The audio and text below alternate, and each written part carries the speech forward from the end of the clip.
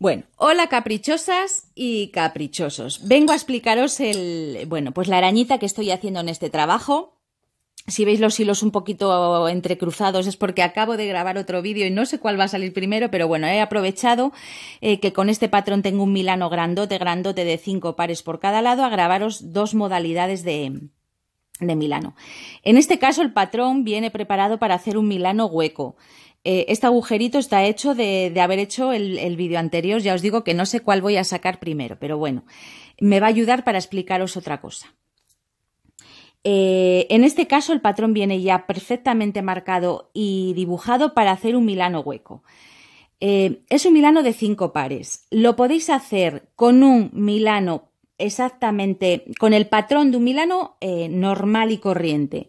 Es decir, en este caso sí que el patrón viene preparado para hacer ese, ese milano huequito, pero podéis hacerlo con un patrón que tenga un milano de cinco pares. Entonces, eh, con cualquier patrón tendríamos el agujero central y lo único que tendríamos que hacer es dibujar dos puntitos por encima y dos puntitos por debajo.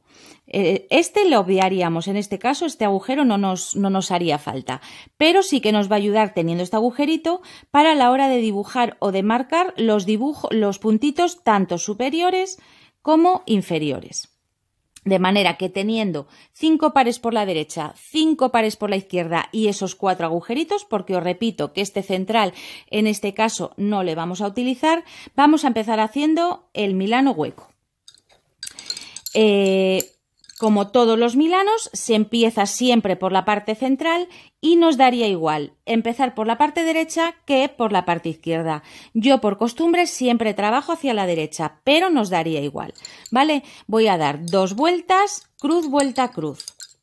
A mí las patitas de los milanos no me gustan súper retorcidas porque si no parece que quedan como encogido el hilo. Y vamos a hacer de momento para empezar, un milano de tres pares a punto de lienzo normal. De manera que cogemos el segundo par de la derecha, una y dos, cruz, vuelta, cruz. Y cogemos el tercer par por la parte derecha, dos vueltas, cruz, vuelta, cruz. De manera que tenemos cruzados tres pares por la derecha y uno solo por la izquierda. Vamos a coger el segundo de la derecha. Dos vueltas y vamos a trabajar los tres pares hacia la derecha cruz, vuelta, cruz, cruz, vuelta, cruz, cruz, vuelta, cruz, a punto de lienzo. Y vamos a incorporar nuestro tercer par por la izquierda. Dos vueltas, cruz, vuelta, cruz, uno, dos y tres pares. De manera que hasta ahora tenemos un milano a punto de lienzo de tres pares por cada lado. Tres por la derecha y tres por la izquierda. A partir de aquí daría lo mismo nuevamente, que empecéis por la parte izquierda, que empecéis por la parte derecha, ¿vale? Daría igual. Vamos a coger el cuarto par por la parte derecha. 1, 2 y 3, cogemos nuestro cuarto par. Le damos dos vueltas, 1 y 2, y trabajamos. Voy a retirar estos para que lo veáis mejor. Con el par que meto por la parte derecha, trabajo a punto de lienzo los tres pares del Milano. 1, 2 y 3. Y lo que hago con este cuarto par es clavar en el primer agujerito superior de la parte derecha. Le doy una vueltita y vuelvo a salir con los tres pares de punto de lienzo con los que hemos empezado nuestro milano. Entran y salen. Y en el camino me voy a coger el quinto par y les voy a cruzar en el medio. Damos dos vueltas a cada cruz, a cada par, les cruzamos en el medio, el que ha venido haciendo la cuarta patita le dejo descansando y meto el quinto par hacia adentro. Dos vueltas y paso los tres pares a punto de lienzo del milano con el que empezamos. Y voy a clavar en el agujerito inferior de la parte derecha. Le doy una vueltita al guía y vuelvo a salir con los tres pares del punto de lienzo. Uno, dos y tres. Y este par de momento queda a la espera. Vamos a hacer lo mismo por la parte izquierda. Tenemos los tres pares que hemos tejido a punto de lienzo en la primera parte del milano. Me cojo el cuarto par, le doy dos vueltitas y trabajo los tres pares de punto de lienzo hacia la parte interna. Y voy a clavar un alfiler, voy a aplastarles para que lo veáis mejor, en el agujerito superior de la parte izquierda. Le doy una vueltita y vuelvo a sacarle por esos tres pares. Y ahí es donde vamos a incorporar el quinto par de nuestro Milano.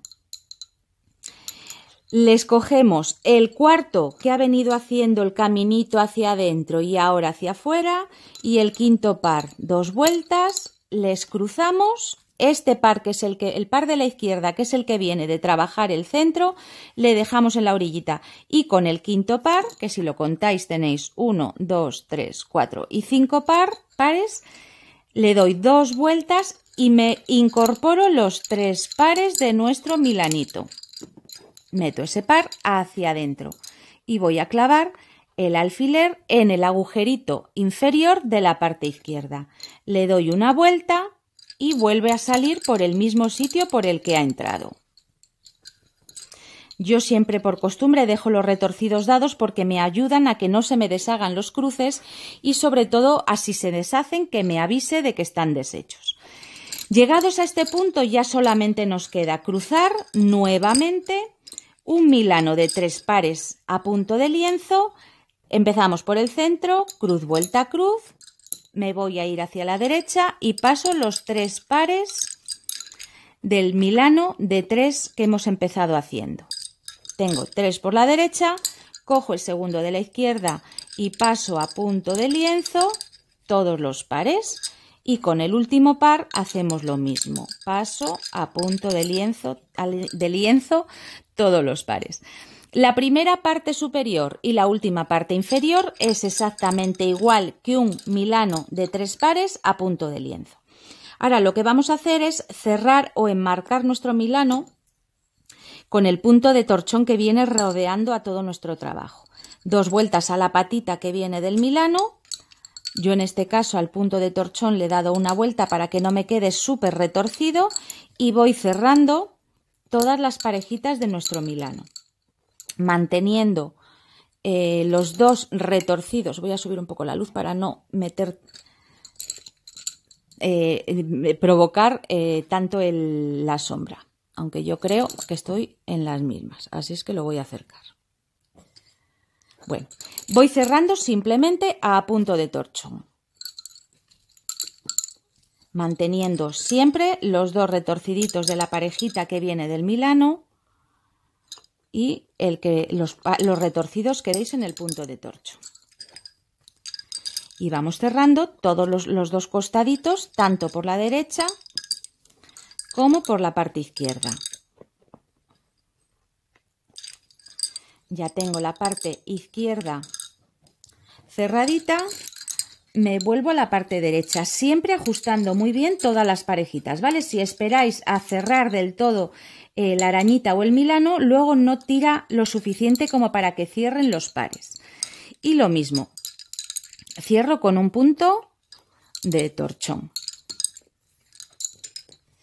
Mantengo los retorcidos, los mismos retorcidos que doy en la parte superior, los doy en la parte inferior.